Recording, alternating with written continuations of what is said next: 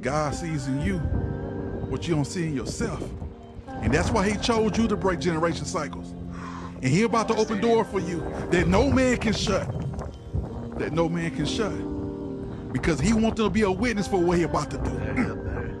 The back of the stadium. My God. You want them to be a witness for what he about to do. So keep faith. Keep faith. And don't worry about if God gonna do it. Because it's already done. It's already done. You are favored. Victory's upon you. I need y'all to receive this message. Big dog. It's much better.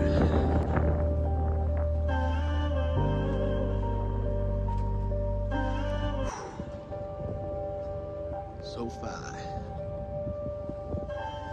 Very nice.